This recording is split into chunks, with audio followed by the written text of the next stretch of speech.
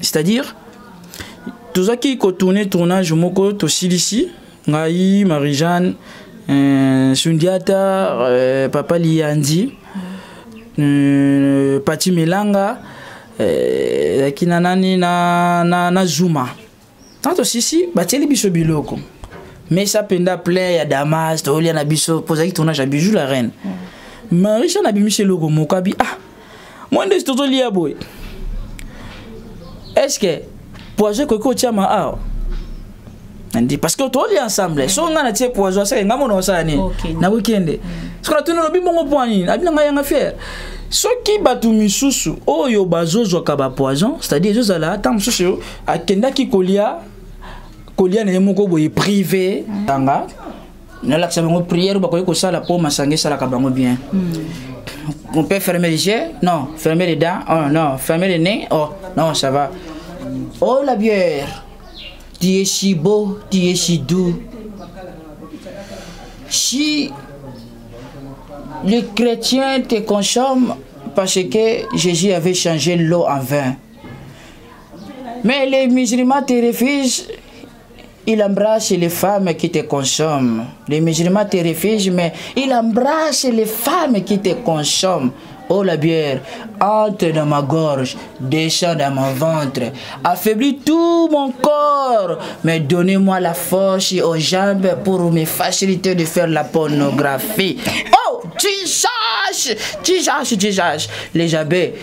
te consomme régulièrement. Je ne sais pas si c'est eux qui avaient eu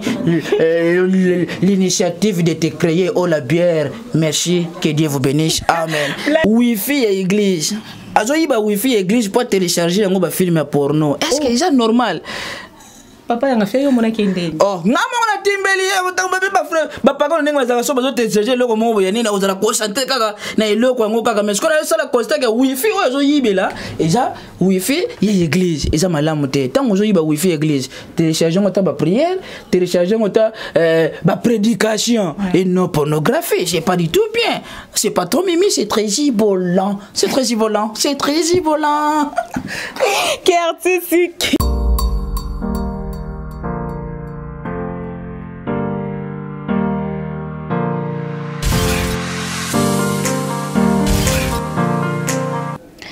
bonjour na balandi nyonso ya avenir télévision uh, bonjour na bino nyonso baoyo bazalaka wana baabone na biso bozalaka wana mpo na biso uh, lelo émission na bino paradis des stars ndenge tomesana toujours na pinela uma moto aza kopresente émission na bino paradis des stars Bo continuer toujours ko s'abonner na, na, na chaîne na bino avenir télévision napesi bonjour na équipe technique na nga nyonso namoni na sima caméra jonathan ndudi jonathan ndudi bonjour na yo liso ya nzambe namoni ingénieur caleb congo caleb congo bonjour bambote ebele na yo ah, lelo na plateau na ngai na uh, émission na bino paradis des stars toza na invité na bino oyo bolukaka oyo bolingaka mingi lelo akosepelisa bino na plateau na ngai ya paradis des stars toza na papa yanga fier papa yanga fier bonjour Bonjour Yanga Ndeko, bonjour bato nyonso bazolanda biso partout dans le monde. Donc euh, bonjour na ba fidèles nyonso ya chaîne na biso. Donc euh, tolela bino ya trop. wana eza papa yanga fier papa yanga fier soki okoyebisa biso boni sante boni bulu ekende ndeni oui santé ezokende nango bien boulot kaka toujours na, na rythme kaka ya confinement donc euh, ye mo omonaki donc avant vraiment tobanda émission batali biso mpenza nono badegré nono ya ndenge bato teste wana mpo tozwa mwa tata mosusu ya kosolola boye mpo maladi ezali donc yango kaka moto ezo freine biso mwa moke mpona ko accéléré boulot mais à part ça santé vraiment kimi eza nango na ngolo ya nzambe Mm. ok soki tolingi omeka un peu koexplike biso mpona makambo ya confinement oyo soki okoki koyebisa biso mpo na yo confinement eza nini papa yanga fiere mpo na nga confinement mm. confinement mm. confinement eza na bajare ba ebele confinement eza na ba genre ebele confinement eh, eza lokola conflit mhm. conflit entre mutu na libanda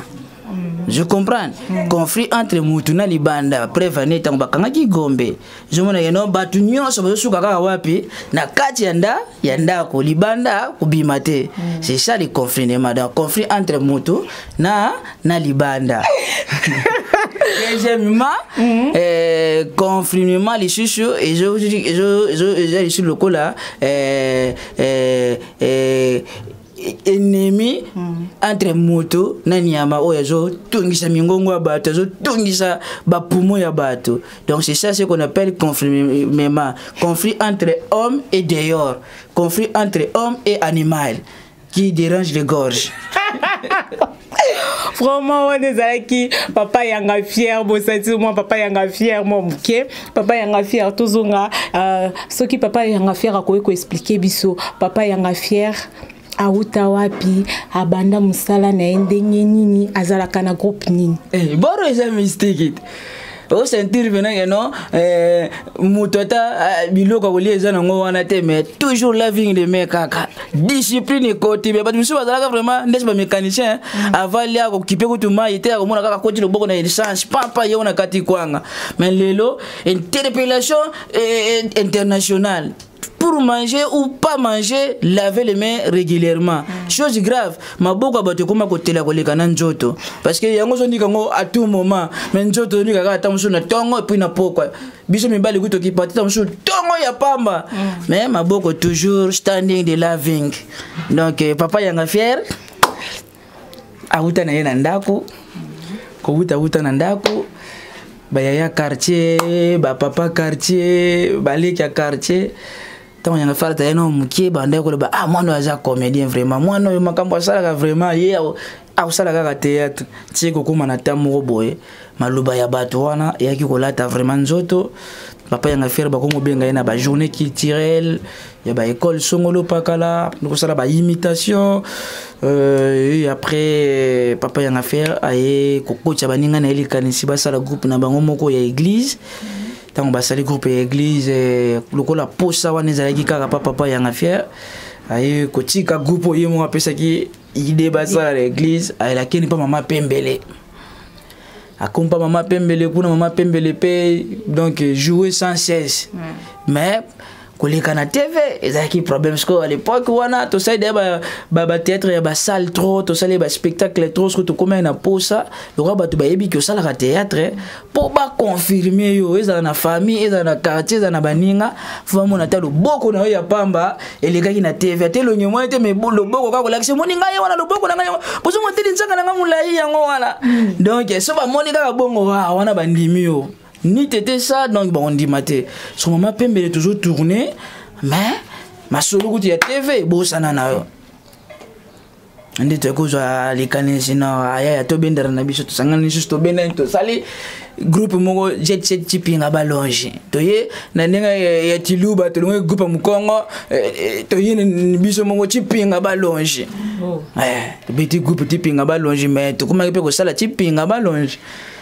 tipe nga balonge yango elakisi nini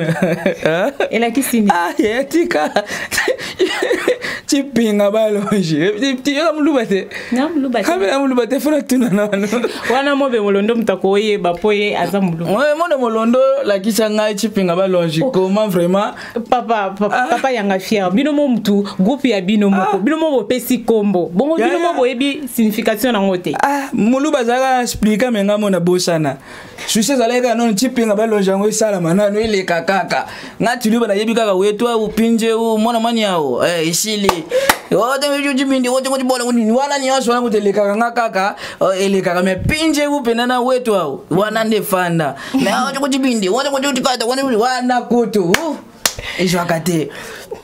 tosali tokoma sikoyo kosala bato mpena taka oyebi terme nkombo ya groupe signification yango te mm. sikoyo bobandi mpe kosala sikoyo bato ti mpinga balonge ti mpinga balonge enga ezokima mpe bon tobandi kosala niso bosali répétition esili boye na palais botali na boseki mbongo wana ekotaki combien ekoti 30 mil sava apesa na 20 mil ya boke bofandi bobai bolie apesa na ata mosusu mpe tu oyebi kaka bokozwa lisusu mofere amonaki no simba te abeti su tour mo pa via aleki kapa mama via mwa quelque nini moko boye quelque jour mombo ya nde aye kosi retrouve na papa ogi yango tozalaki aveni moko bavoisin ntango ye alongwe mpa zena ayoki mpe ngai mpe nalongwa na ngai mpa mama pembele azwi likanisa ye apropose ngai e na acceptaki epuis ti lelo ndenge nazaka wana Ah, siko oza kotapa pogi kotapa pogi osali combien d'année euh, 8 ans déjà 8 ans kotapa pogi oui. ntango ah, okotaki kota papa ogi oya kokuta déjà groupe banzoleka déjà na eh, tele non nakuti likanisi ya groupe nde ezalaki Ah, donc bobande na papa ogi nzela moko azwi likanisi apropose puis toexécute tozalaki wana bamasta misusu balouange euh, bamasta ebele ebele ebele ebele tozalaki ya misusu mpe batika na bango mpe théâtre yango donc tozalaki ezalaki vraiment na bango nde toenchenaki papa yanga fier nkombo ya yanga fier wana ozwaki yango wapi bon koma yanga fier koma yanga fier koma yanga fier vraiment koma yanga fier euta pa ya Défunt président na biso sans souci. Défunt président ya Wuta vraiment pas na ye. Ezalaki mwana circonstance moko boye. Na circonstance parce que biso papa aza Mumbala. Mm -hmm. bango pays mpe azalaki moto ya bandondo wana bazalaki mwana ba liaison moko bazalaki nango wana ezalaki mwa circonstance moko esengaki wana donc na circonstance wana nga sikoyo nazalaki mwa mwa fiere fiere fiere fiere parce qu'à l'époque je jouais na kobanda kojouer na kombo ya pape gogo mhm. eh, ntango fiere fiere fiere fiere ye ah, abengi sikoyo papa ah, justin me mwana no fiere fiere boye ye mpena lokola nga nazalaka yanga bao ye mpena fo azala mpena yanga fiere mpo ye mpenda fiere eleki mhm. eleka nango mpe bongo eleka mais eske ntango nazojoue ka na yanga yanga nini papa egogo wana ekokoma na moma moko maloba wana eye sikoyo kozongela ngai ah. na bino nonnono wasikove deja daye maloba wana eye sikoyo kozongela nga ngai bino maloba mawei batikaka yango te egogo vanda nao kuna ah. bapara babetako na mitu ya bana na bango me tika nano yanga fiaka saa nini azwa nano esika wana epuis aya papesa makambo na ye na ndenge na ye vraiment kombo papa yanga fier euta epa papa na biso sans souci euh, papa yanga fier ntango omonaka baoyo baza liboso na yo osesanta nde nini ntango omona baojoue donc napesa na oposa na oyo ojoue ntango obanda ota tv napesaka oposa obanda ojoue mpe obanda ojoue mbaa moko paka boye Euh, nga pena moto apesa nga mposa ya kojoue boye ezalaka koko seigneur parce nga pena malgré que à l'époque wana euh, nabandaki kaka koimite ye epuis nabanda théâtre kanaki papa mpe najoua mpe nano elenge ete nde naza mm -hmm. sikoyo à l'époque mandefu ezalaka nanu te elongi eza nanu ya bolenge bote sikoyo ezalaka esu ya lepoke ya bobebe wana mm. ozomona ye non oya oh, groupe mobe bazo néglige ah yo mpenza elongi eza nanu claire bopoza nanu mwa mokie oza nanu boye esimba te ah, ah. Je comprends. Donc à l'époque pour moi c'était il benda koko seigneur donc azaka na benda pas venga Dios benda seigneur na ngai seigneur ba biloko wana et puis euh, le temps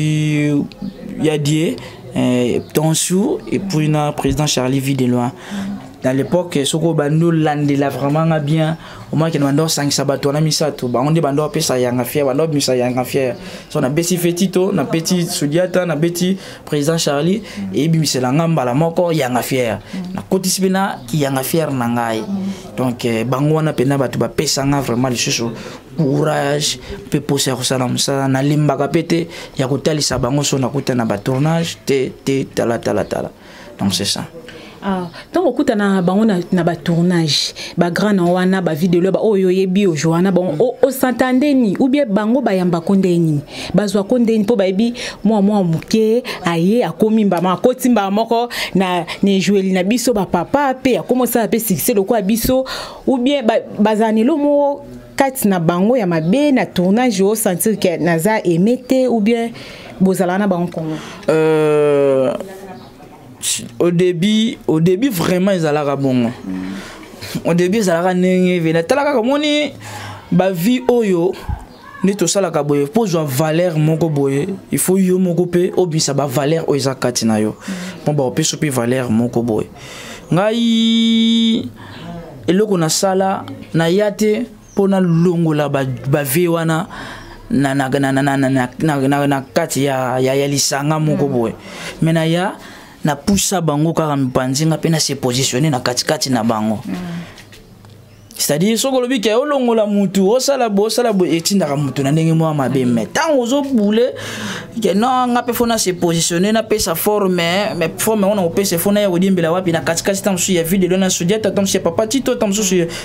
ya, ya, ya pape nzange-nzange ntango mosusu baza bele bavemba ata siala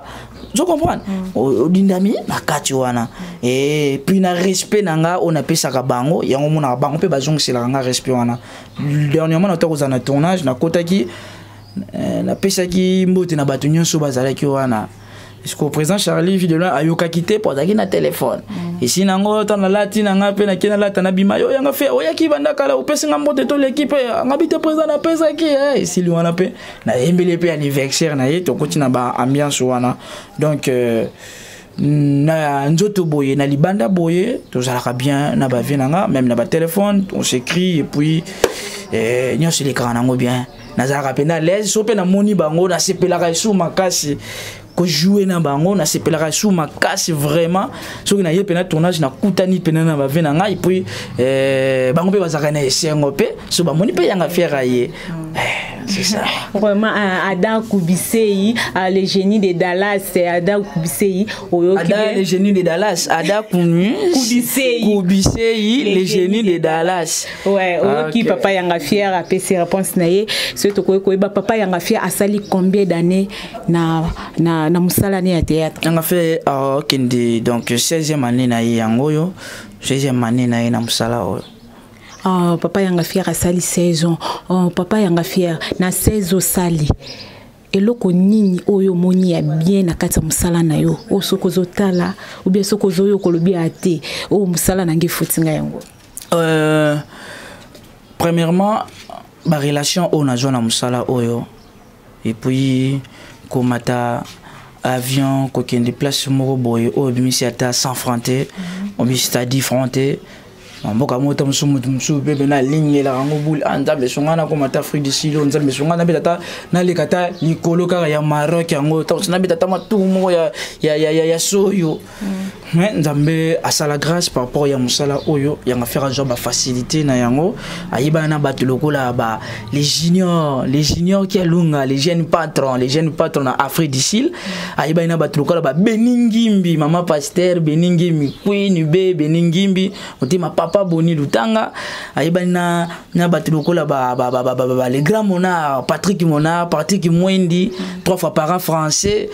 ayeba bato lokola bave na ye ba eli lukuni na kati ya france wana eh, l'homme à la taille de jésus kua ayeba na bato lokola bamama gelti luce mama sociale na kati ya canada banasi masamba la fille ya catalogue otali vraiment mwasi olobi e eh, eh, eh, te nga naza yo moninga mwasi olobi mpena e te nga naza mwasi te mwasi nde ye wana mm. otali suleki ne abeli bolokumu laka na sikre obi non non non non non tika na mibatama mpo mwasi nde ye wana azoleka lokola siani ivili siani ivili mwasi kitoko na kati ya paris vraiment soki otali mwasi olobi ate vraiment nzambe akela vraimentlisusu nde nabakisi su ada mokonzi ada mokonzi ya nini ya dalas tala su nabakisi su na ba ada bobisei mokonzi ya dalas ozokompa donc esalaka euh, nga vraiment bien donc euh, premièrement nanu vraiment famille oyo epesanga nano na libanda ntango mosusu bandeko ya nga moko mpe bakenda me bandaki kotyanga ka te me bato moko boye oyo babima kaka daleneya na cadre kaka ya mosala oyo eh, bakoma mpe kosoutenir yanga fiere na bandenge moko mpo yanga fiere azala bien alela te anyokwama te mm. donc eh, yango nde vraiment oyo esalaka nga esengo nano vraiment eh, eloko ya bien oyo nazwa na kati ya mosala oyo nano eza vraiment relation bongo ya mabe eza nini hmm, ya mabe ya mabe vraiment jusqu'à présent non nakutani nango te jour nakuta nango na oyebisa vraiment eh, abombi na ye ya mabe na amona na ye ntina ope azwi ya ekeya nango ah, pete eya peteezalaka kaka ntango mosango toto banda ya sika so otimi wa makiyage banini otala ko moto atuna si oyo nani yango nano okomona osiko eswaka oyo nani yango nano mais lelo oyo soki otye ngo oyo ne moto akoki moto ntango atali deja abandi deya koseka deja abi ke non jo ya bomaka ngo moto mosusu otala kuti te moko akanyo na nzoto mama oda asepelaka na yo papa yanga fier mpo tosentir ke toza bana papa yanga fier na plateau papa yanga fier okosala biso mo elo mo boye oyo bafani no baozela oyo balingaka yo bayoka papa yanga fier asala bao mwa bien omoni lelo eza biloko oyo nazobeta nawutaki mo baspectacle nawutaki nango na cameroun wana mm. cestadire là-bas on joue en français mm. sikisa camerounais na lingala oyoka yo te manke balingaka lingala mingi mpo balingaka mpe nango mais il faut toujours jouer en français mm. nde omonaki babiloko mona yei kobeta mpo na kofongola nano bareve le rideau apui kokota na babiloko mosusu donc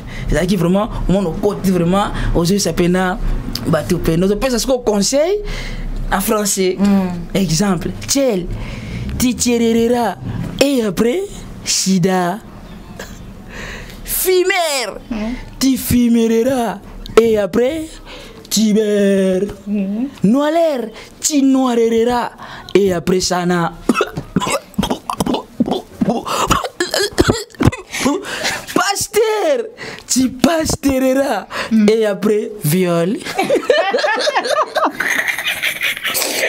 papa yanga fiao vraiment papa yanga fiao pardon lelo lelo omoni nga nazalaka nakomi contre bato ebele eh. mm. Eh, nauti kogangela frere moko na nsima awa eglize ezosala te bien sûr mais azoyiba wifi ya eglize azoyiba wifi ya eglize mpo atelecharge yango bafilme ya porno est ce que oh. eza normal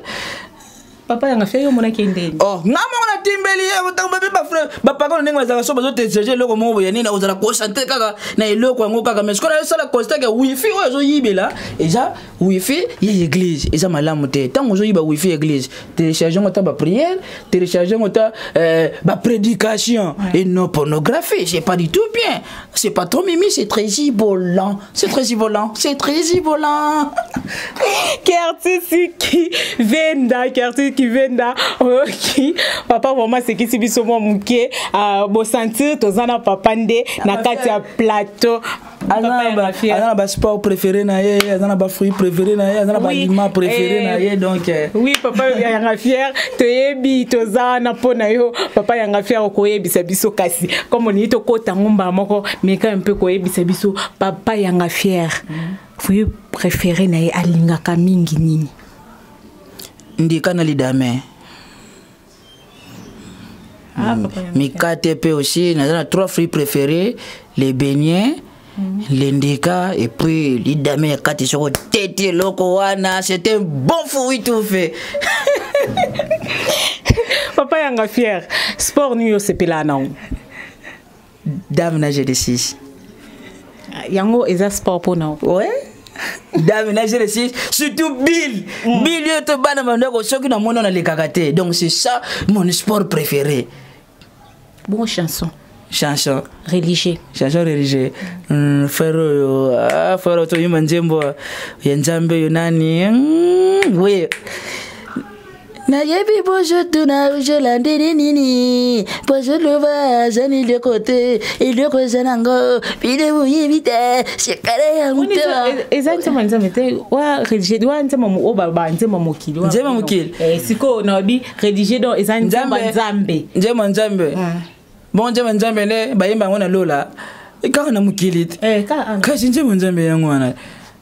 bon sikoyo yebisa yeisa nzembo nzembo mokili kasi nzembo mokili na shenge ngoru na yo kati na bomoi na bomoi na nga mm. nakangami na pasi yo nde mobikisi na nga papa ya kapia omoni bato basepeli vraiment basepeli papa yanga fiere asali bango mwa babien babien uh, papa yanga fiere Mm, soki tolingi tozonga lisusu na makambo na bino baartiste papa yanga fiere bolingani te pourkui bokomi komityela na bapoison bino moko bozolingana te bozobwaka na bamaladi papa yanga fiere mpo na nini eza kaka basi ya poto mituka mpo toyoki isu bamisusu bakomi kopesa nsima toyebi te papa yanga fier meka mpe koexplike biso pourkui makambo wana ezokomaka na baartiste comédien oui monde eza na baréalité ebele monde oyo toza tozovivre eza vraiment na baréalité ebele sauf que soki ocomprendre yango te moye mpe eh, oyeba baréalité wana eza te c'est-à-dire tozaki kotourne tournage moko tosilisi ngai marie jeanne euh, sundiata euh, papa liyanzi euh, pati melanga ezalaki euh, na nani na, na, na zuma tanto sisi batieli biso biloko mesa mpenza plein ya damas toolya na biso mpo ozalaki tournage ya bijou la reine mm. marisha na bimisi eloko mokabi ah moi ndesi tozolia boye est ce que poison ekoki kotiama awa nandi parce que toli ensemble so nga na tie poison aseke nga mona osala nini na wikende soki natuni olobi bongo mpo nini abi na ngai yanga fiere soki bato misusu oyo bazozwaka bapoison c'est-à-dire ezozala ntango mosusu akendaki kolia kolia na ye moko boye privé rendez-vous na ye moko privé peut-être na mwa ignorance moko boye na mwa kolia ya privé wana eh, mwa eloko moko boye etiami mai soki toza na biso d'ensemble boye ndenge na mwa mlai yanga fa azokotya loboko ni awa ah, ngai mpe nazokotya boye moto azoningana te moto azobouge te poison yango ekowutela wapi c'est-à-dire quant à nous ndenge toza na vie artistique boye toza na barelation na biso ya libanda toza mpe na bafamille na biso toza mpe na, na, na, na, na bacomportement na biso c'est-à-dire nakoza ata mosusu na problème moko na, na, na, na, na, na caleb mm. réalisateur monsieur ingénieur caleb mm. nakozala na problème na ye soki naza na problème na caleb eh, nayebi te ke naza na problème na caleb mosusu nabotola ye mwasi mo boye ta mosusu nasala ye mpe eloko mo boye eshoka ye mai abomba likambo na ngai na motema mm. nayebi na ngai mpe te ya kale babeli ngai yanga fe nde tosisi émission tokende kovanda ntango akeke pa tomela te eloko mai kala baza na likambo na nga soki neti kale apoisonne ngai to atyeli ngai eloko moko boye nayebi te lobi nango ntango ya kobima kaya yanga fe ntango mosusu aza na poison pourquoi ekende kaka mbala moko ata mosusu bato na bango nde ya théâtre motu batieli ye est ce que yanga fere aza kaka na relation ya bato ya théâtre to yanga fere aza mpe na relation ya bato ya libanda Mhm. aza mpe ta mosusu na bato momba epe asala mabe libanda aza mpe to na bato mosusu mpe oyo ye asala mabe te mai kaka ndenge azalelaka kaka bango momba ayokeli ye deja motema mabe mhm. c'est ça tobosanaka eloko wana te tobosana eloko wana tovizaka kaka te toakizaka kaka bandeko ba, ba na biso ya famille artistique te me totalaka mpe baparcours na biso ndenge totambolelaka nini mpe soki mpe na famille yango artistique atieli ye poison mpo na nini na likambo nini mpo azwa nini estce soki yo oza te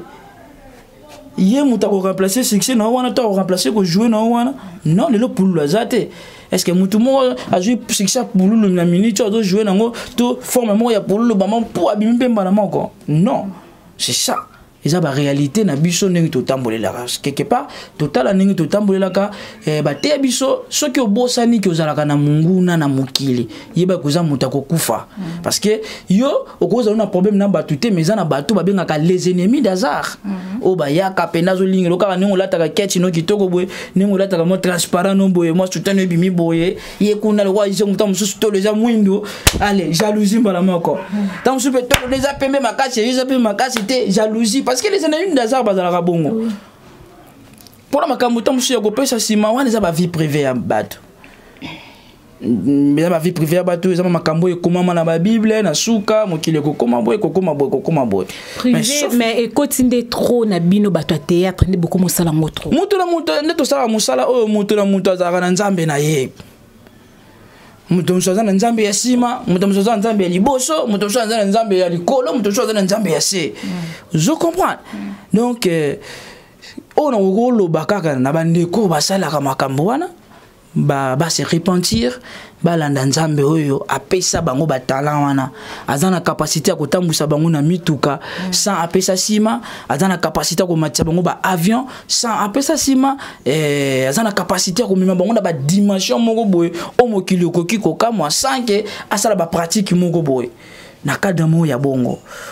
donc ngai nazwi baproposition ya ndenge na ndenge bapo mpe bamboka mosusu totamboli ngona bapropose yo mpona makambo soit ya bajara bongo soit kosimba eloko mome ntango conscience ezoya mpo nayeba ata mosusu na deux ou trois personnes oyo na nsima na nga te mwa deux ou trois personnes mosusu moko aza asungaka nga ekoki nango nde bible ezoloba contacte vous de ce que vous avez donc euh, natali te ah, nzambe oyo apesi ngai mwa deux personnes oyo ye bayembaka ozwaki nga na zero okomisi nga awa mpo na oyo etikali nayebi oza fidele ozo comprendre mhm. totalela nzambe mhm. totalela nzambe bandeko na ngai bino bomoni badiscipline moko euti kokɔta na mokili awa mpona baya pandémie oyo euti koya awa c'est-à-dire eh, toyebake nzambe azali tomonake no nzambe amonene totalela kaka ye totika yango eza nango fo bakwasere obebisa nsima na yo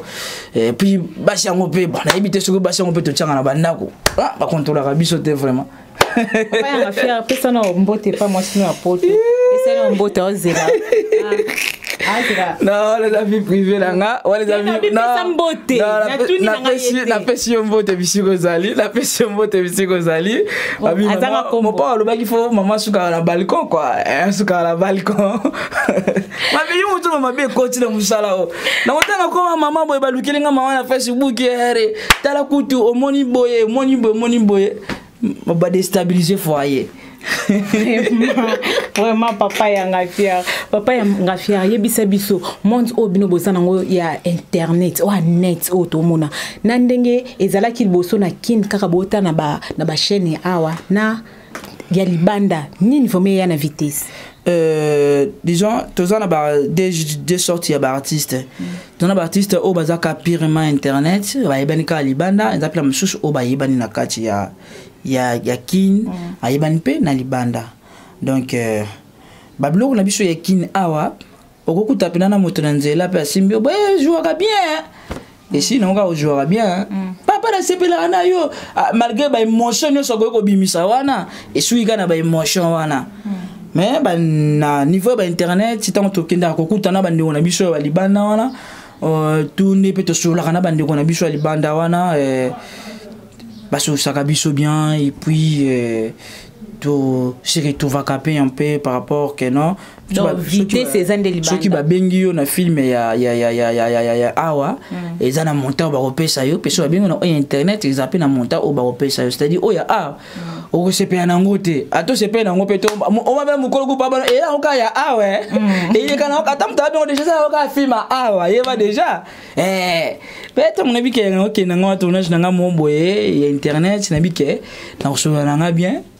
na na na Jonathan na Jonathan, eh, na Jonathan Ndudi na osola na nga bien donc c'est ça okay. papa yanga fier vraiment tokomi na suka papa yanga fier soki okoki kopesa conseil to liloba nini oza nango mpo na bandeko baolanda biso to mpo na bandeko na yo baartiste Ouais, conseil on a quoi pesa boye bi vraiment moment oyo toza nango eza moment moko boye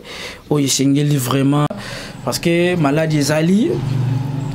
oyo ezoboma donc euh, tosukolaka maboko na biso à tout moment Euh, to se protéger bakashi nde na biso ezanga te nga mpe après mission déjà nazozwa kashi nde na nga nazotia yango donc euh, to se protéger vraiment maladi oyo ezali eza réel ezoboma vraiment donc euh, mibatela nzambe mpe vraiment abatela yo kobosana kobondela te butu moi donc ndenge ozozwa eh, ozwi deja rythme ya kosokolaka maboko ntongo midi pokwa eza mpe rythme eh, ya kobelaka nkolo abatela libota na yo batela bana na yo abatela nyonso ya yo vraiment ekozala bien soki okoki kopesa numero ya telefone baoyo baza aposa papa yanga fiere uh, bacontacte yo na uh, kobenga nga na plus 243 89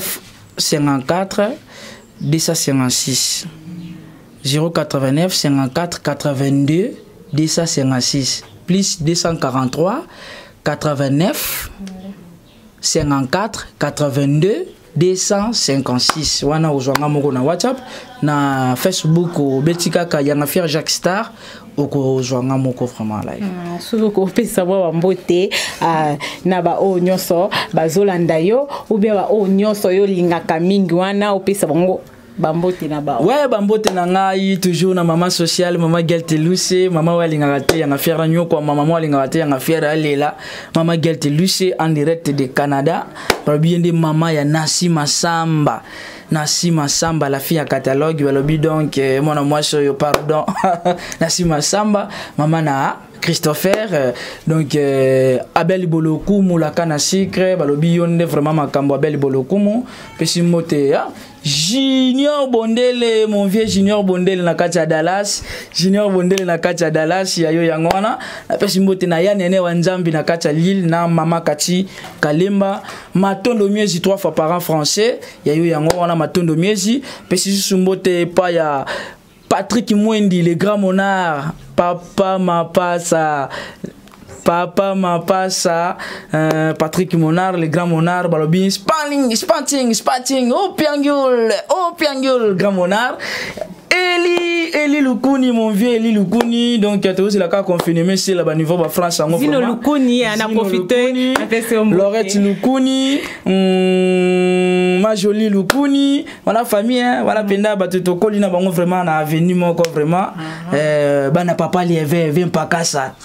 Ah. Eh, papa lieve donc jino lokoni mm. omona donc mwana poto mais mm. sante lokola motu moko avandaka na lola donc eh, nzaki moto azalaka nde na posa vitamine te mais aza na kati ya poto jino lokuni là vraiment mm. c'est mon pote à moi vraiment yaya mpena tobeti na bango babale na quartier ah, grand frère na ye eli lukuni donc eh, ma jolie lukuni ya na bango azalaki camarade ya grande sœur na nga ya ah. yves lukuni donc yves lukuni na grande sœur vraiment yango wana bambote ebele donc Le jeune patron, le jeune patron en direct de l'Afrique du Sud, Junior Kalunga, Junior Kialunga, Junior Kialunga, le jeune patron, Babi Soudaf, donc toujours mode confinement. Mm. Toujours c'est la caca confinement, moi ici là vraiment béni. ngimbi kwini be beni ngimbi vraiment bambote na yo pesa mpe papa boni lutanga bambote ya trop vraiment donc euh,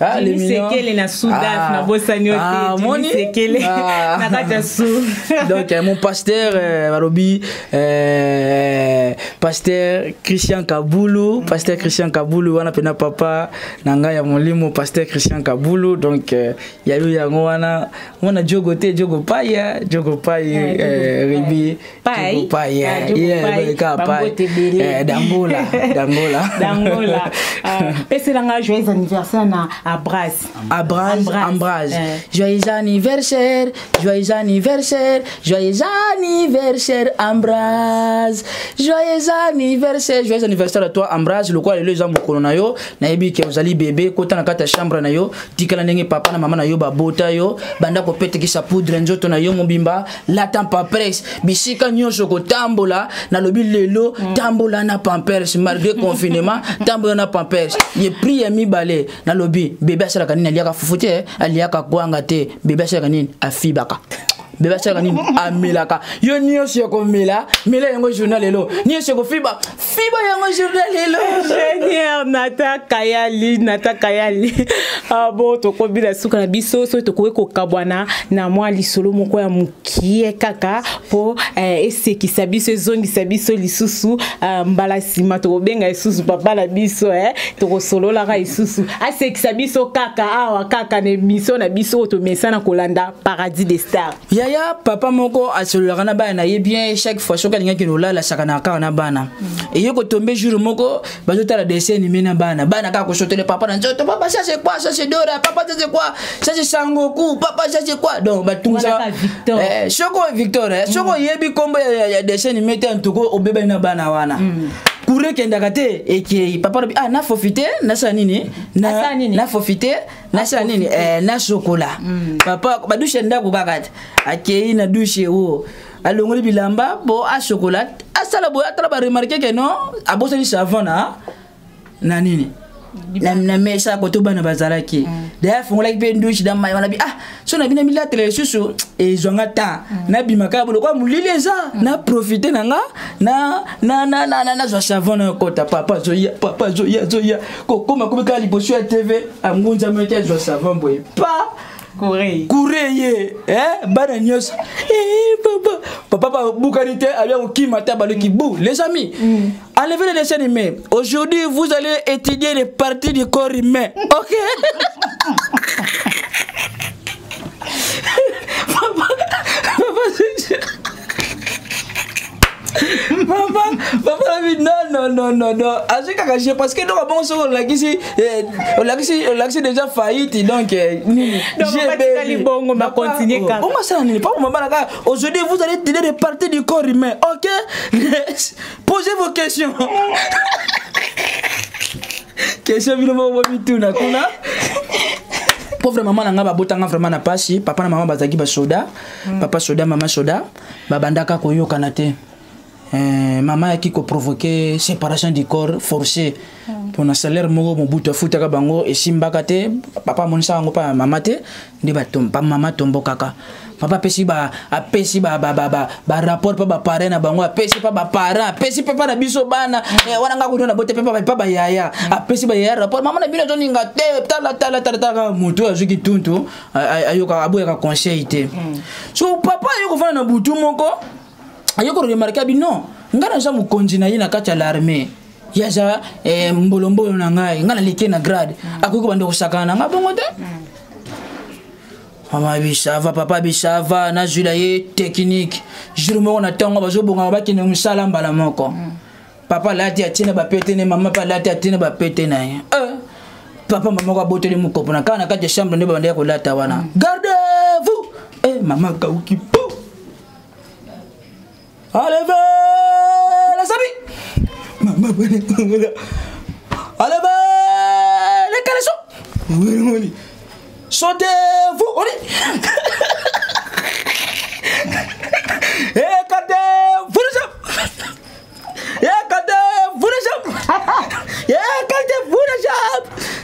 Eh, mokonzi na ministre na mokonzi nde azotika azopesa ordre ale papa baye koprofite lese le mokonzi sote odeside fo ale bu na ndenge nga mpe na yelando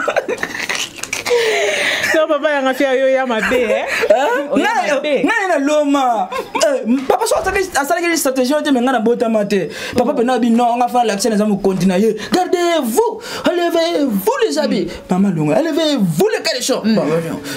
Sautez-vous Et puis maman, écoutez, vous les gens Écoutez-vous les gens Merci, merci, merci. Merci vraiment. Na balandi na biso ya venu télévision bomoni wana ezalaki papa yanga fier asekisi bino nayebi esika boza vraiment boseki boyoki bien ezalaki papa yanga fier vraiment apesi biso bien makasi toyoki bien abdul pulala oyoki papa yanga fier nayebi ke osepeli ya trop uh, oyoki papa yanga fier gaz na gaz na kati ya limete mm, napesi yo uh,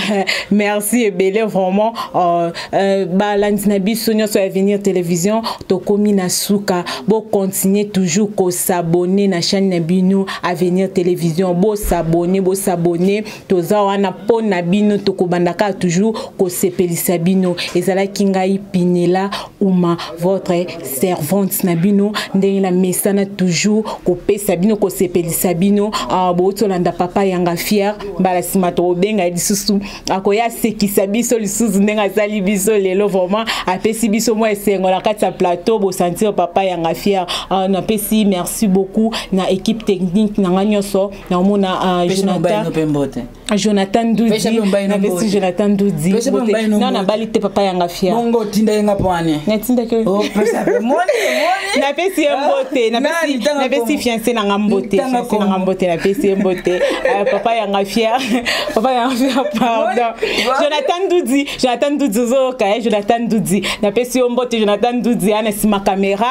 Ah, liswa nzambe nabengaki liswa nzambe to boomona mwa baimage ya bien jonathan nzudi caleb congo mon génieur caleb congo caleb congo malgré tout ayeba makambo wana mais oza toujours génieur e génieur na ngai ya makambo vraiment napesi yo ah, bambote mingi bambote vraiment Ah, napesi oh, merci merci na mama Annie Chai ma maman préférée merci beaucoup na yo mama Brigitte Bonieme merci beaucoup mama sociale mama Brigitte Bonieme euh, mama Bonheur mama Bonheur napesi yo bambote mingi mama Fifi Fomola napesi yo bambote mingi ba oyo nyonso balingaka Pinela Uma napesi bino bambote mingi nape ya drope nzau napesi yo bambote vraiment euh, eh, namoni Mm, la perle la, lemba lemba napesi yo mbote mingi vraiment la perle mwasi kitoko na kati ya france bambote ebele siani ivili siani ivili ma copine privée balobi tosilisa na prière kota papa yanga fier bouteille ah, papa yanga fier azozwa bouteille mpo toprie ah, naopesa mbote na bato nyonso bokontinue kosabone toujours na avenir télévision bosabone ah, soki tokoki kokanga misu toprie na papa yanga fier esambela mpona bato oyo bamelaka masanga nalakisa bango prière bakoki kosala mpo masanga esalaka bango bien hmm. on peut fermer les yeux non fermer les dents oh, non fermer les nez oh non ça va oh la bière